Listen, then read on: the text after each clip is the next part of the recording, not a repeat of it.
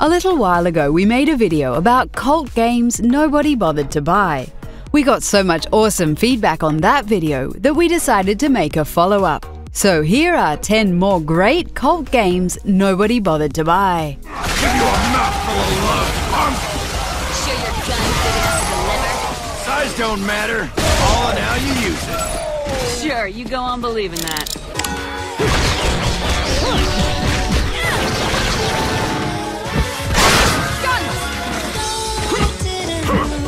We kick off our list with Bayonetta, the sexiest witch of them all. This action game is one of the best in the genre.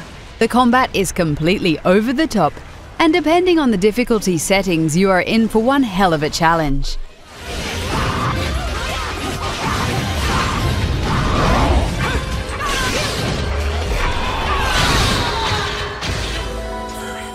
But with 1.5 million copies sold, game studio Platinum Studios was disappointed.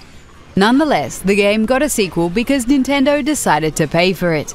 The Wii U exclusive sold an estimated 1 million copies.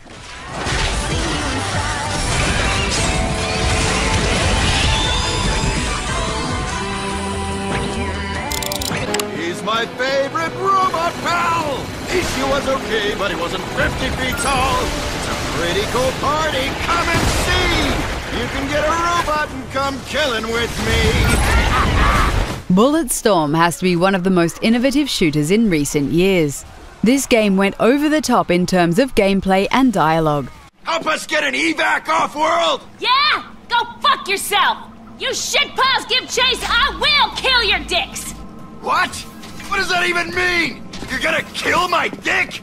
Well, I'll kill your dick! How about that, huh? Combine that with a pretty awesome point system, and you have a truly unique game. And even though the game is officially considered a commercial failure, it was praised by critics all over the world. Bulletstorm sure adds color to a genre that lacks innovation. The game is getting remastered next year, so be sure to check it out. Need to get some pads for my ass. Old gal wasn't built for that much abuse. I'm not interested in quantifying how much abuse your ass is built for. Get moving. See this? I got this when I arrested the Catwoman wannabe. You're crazy. Don't you agree, Zach? Deadly Premonition is one of those games on which everybody has a different opinion. This open world survival horror adventure game is one of a kind. It has very basic gameplay mechanics that might annoy you, but the story and characters will surely suck you in nonetheless. The case I was on until last month, well, the guy killed seven girls in a three month period. He sawed their heads off from the neck and took them back to his house. He cleaned the skulls up and used them as utensils in his daily life to eat from or as a urine cup. Thank you, Agent York. Now, let's talk about something else. This game is absolutely loaded with a quirky kind of charm. With not even half a million copies sold, this is one of the most underappreciated gems of the last generation. So, about those bonus features in DVDs nowadays. You know, the ones from the 80s have almost no bonus material. Even if they do, it's a trailer and the visual quality is pretty bad.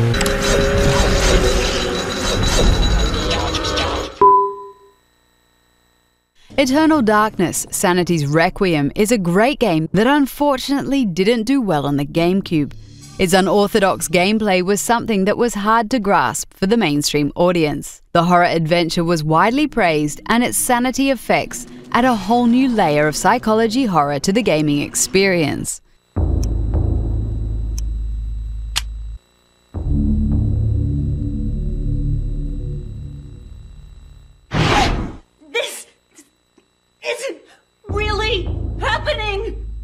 With less than half a million sold, this gem is labeled a commercial failure.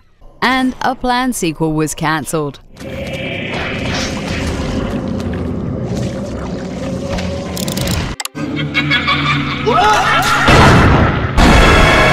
Oh, shit! There's more than 14. Oh, those bastards are breeding. Many games made by Suda51 have not met their commercial expectations in the West. This can certainly be said of Killer 7. Even though the game sold only 250,000 copies in Europe and the USA, it was praised by many reviewers for its story and very unique art style.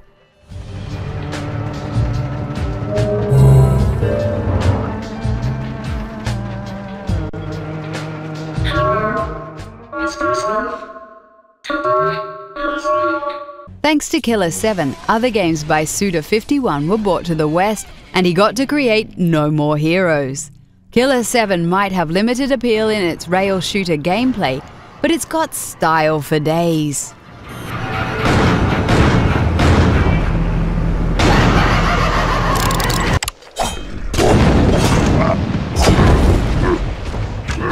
Kingdom of Amalur Reckoning is an action role playing game that's often described as a mix between God of War and The Elder Scrolls. In one of our older videos, we compared this game with the World of Warcraft because the visuals sure look similar.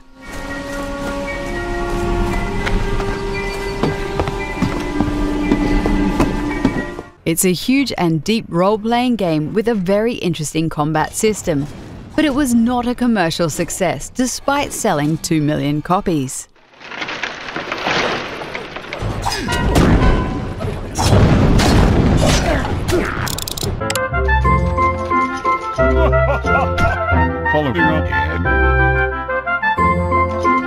Little King's Story is one of the most underappreciated video games on the Nintendo Wii. The game has been remade on the PlayStation Vita and was also released on Steam. It offered a unique mix of strategy, life simulation, and role playing that surprised many gamers.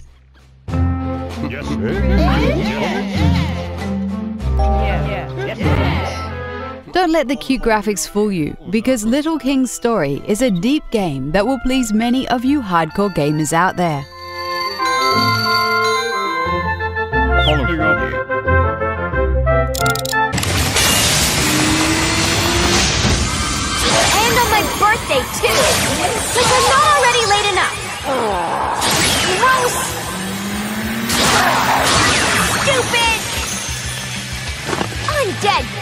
Douchebags!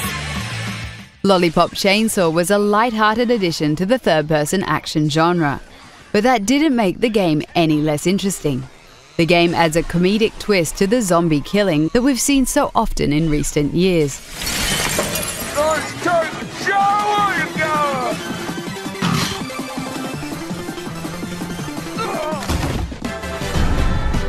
Running zombies?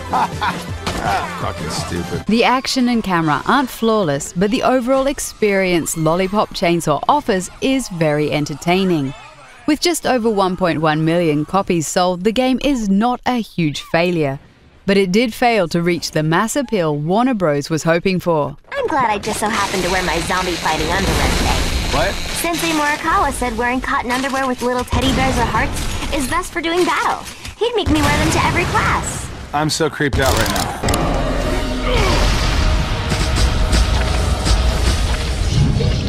With less than a million copies sold, the action role playing game Nier can surely be called a commercial failure.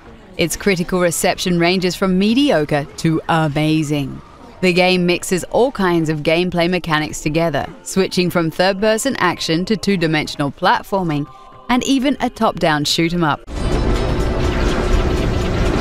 But if you finish Nier and play the game a second time, it will reveal new story elements. Nier is one of those games that just gets better the more you play it. How can someone with such a big smart brain get hypnotized like a little bitch, huh? Oh, Shadow Lord, I love you, Shadow Lord. Come over here and give Weiss a big sloppy kiss, Shadow Lord. Now pull your head out of your goddamn ass and start fucking helping us! Rather go all out than bother with defense. Time to hit hard and make him regret it. There's a lot to like about Vanquish. In this fast paced action game, you slide on your knees while shooting guns in slow motion.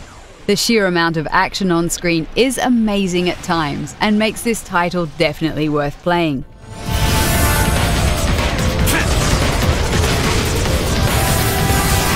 The story's a bit crazy, but who cares if you can slide around while shooting bad guys? It's a real shame only 800,000 people bought this amazing action game. Wonderful! Do you own any of these cult games? Let us know in the comments and make sure to subscribe to the channel and leave us a like before you leave. I need to find Morikawa Sensei. He'll know what to do. Who's that? Morikawa Sensei. He's my sensei. A sensei? But Like a teacher? I didn't know you spoke Japanese, Nick. Well, I... Osegoe, watashi mo nihiko o hanashimasu. I can't speak Japanese, Juliet. I just know that one word.